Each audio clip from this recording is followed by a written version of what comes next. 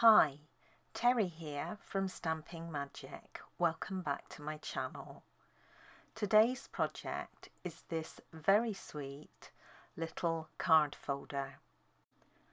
I've used the Berry Blessings stamp set together with the Berry Delightful Designer Series paper and both of these items are available for free together with any purchase of £90 during our celebration promotion.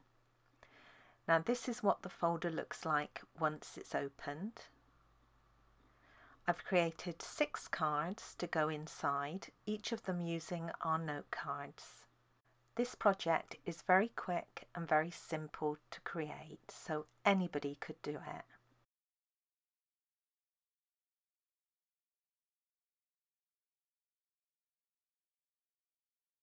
So let's get started.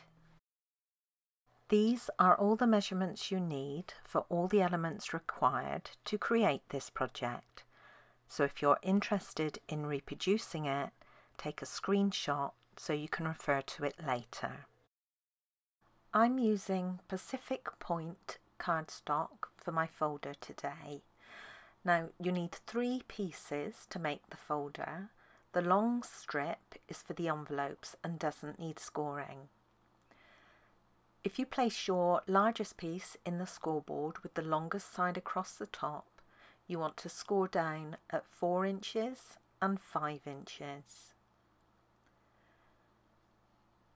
The smaller piece goes into the scoreboard, again with the longest side across the top, and I'm going to score this at 3 quarters of an inch, 4 and 3 eighths of an inch, 5 and 1 eighth, and 8 and 3 quarters.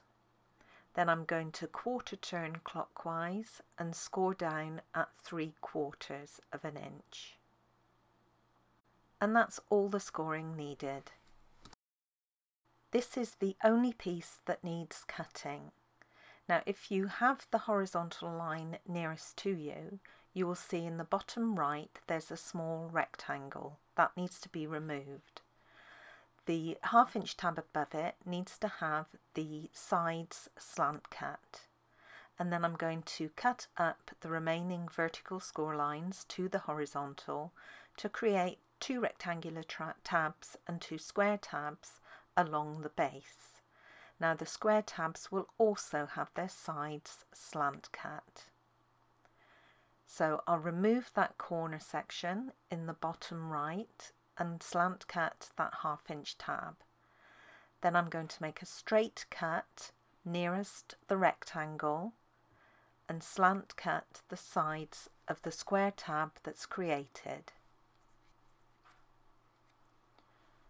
So a straight cut and then a little slanted cut on the sides of the square tab and that's it. I can then fold on all the scored lines and burnish them with my bone folder.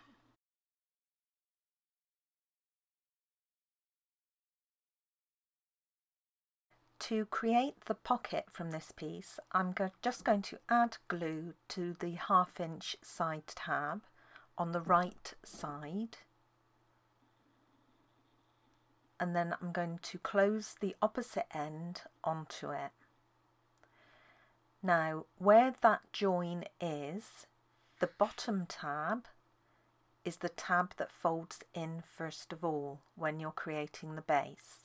Then I'm going to add glue to the remaining three tabs, fold the sides in and then fold the front in and this leaves a nice clean edge on the front.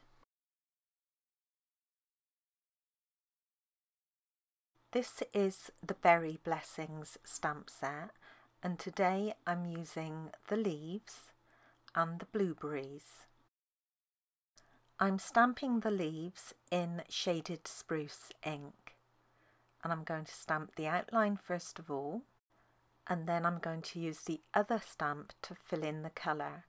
I'm still using shaded spruce but I'm going to stamp it off once to get a lighter tone. I'll be using both Night of Navy ink and Pacific Point ink for the blueberries. I'm going to start by stamping the outline image in Night of Navy and then I'll use Pacific Point for the infill colour.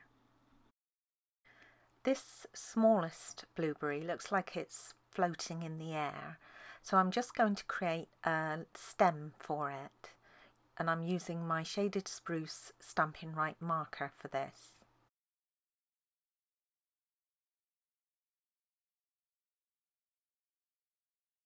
I'm going to die cut this using one of the Tasteful Labels dies. And when I die cut it, I'm going to leave enough space on the right hand side to stamp my sentiment. And the sentiment comes from the Sweet Strawberry stamp set, and it's the Hello There sentiment. I have some grid paper under my sentiment mat to help me stamp the sentiment straight, fingers crossed and I'm using Night of Navy ink.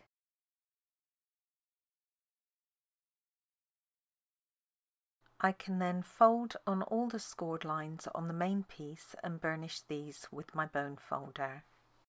Using a pencil and ruler, I'm going to mark the halfway point on each of the side edges. This is at two and three quarter inches. The marks are to help me lay my ribbon down straight. I'm going to secure the ribbon using some tear and tape adhesive and I go, I'm going to place this along the front and back sections but not quite up to the side edges. There's just a small gap. You don't want to put it across the spine of the folder because this is not going to be covered. I can then remove the backing.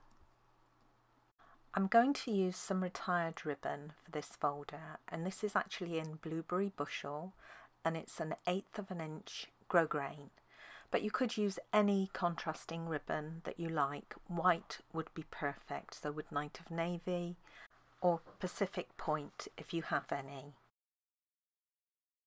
I'm just going to lay it across the back of my folder, keeping it as straight as I possibly can.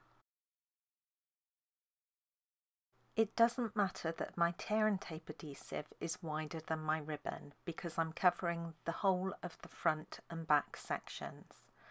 Now I'm using the Berry Delightful Designer Series paper and this is the paper that comes with the Berry Blessing stamp set as a bundle as a free item during Celebration 2021. So I'm just going to add glue to each of these pieces and they cover the front and back sections entirely. I've not left a border on these.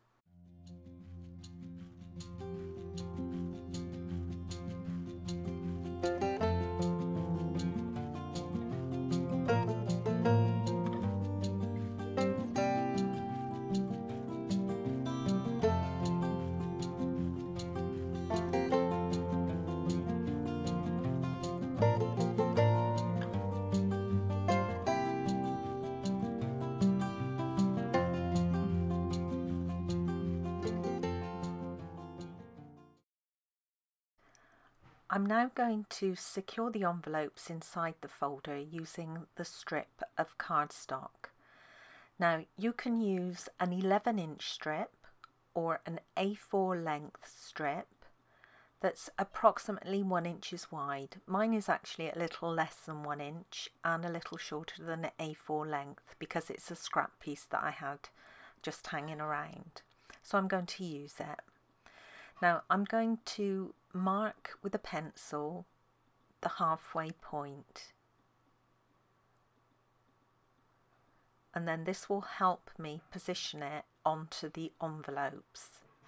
I want that mark to be approximately halfway down.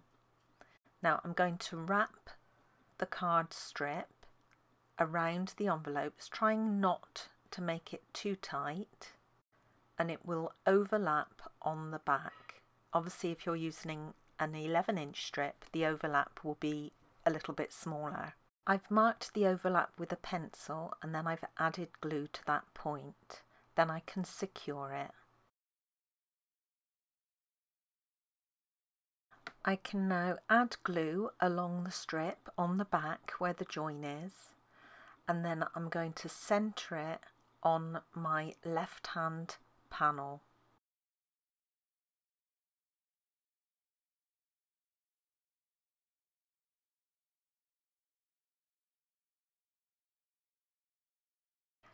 I can now add glue to the back of the pocket. Make sure you're adding it to the side where you can see the two joins. And then I'm going to centre this at the bottom of the right hand panel, making sure the gap from the bottom edge to the bottom of the pocket is approximately the same as on the other side to the bottom of the envelopes. I've added dimensionals onto the back of my front panel. Now this can be positioned up high or in the middle. I prefer it I think in the middle.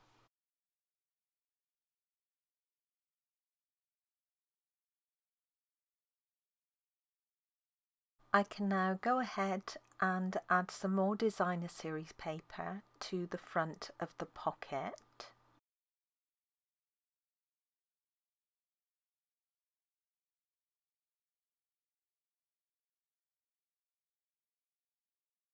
And also to the band on the envelopes.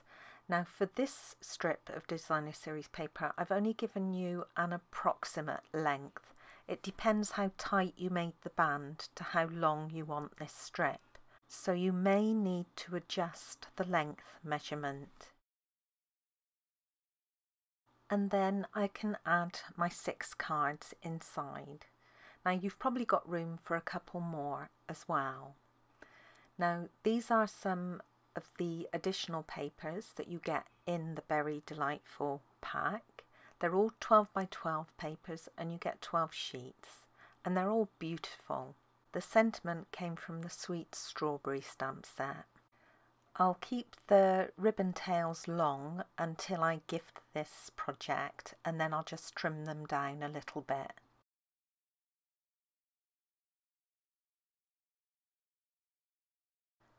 And that's it that's the folder complete very simple to make and very quick a super easy project for anybody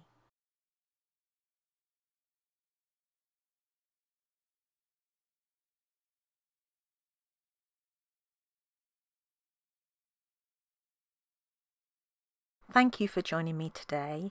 I hope you enjoyed this project. If you did, please give it a thumbs up and don't forget to subscribe and hit that notifications bell so you don't miss out on any future videos. Bye for now.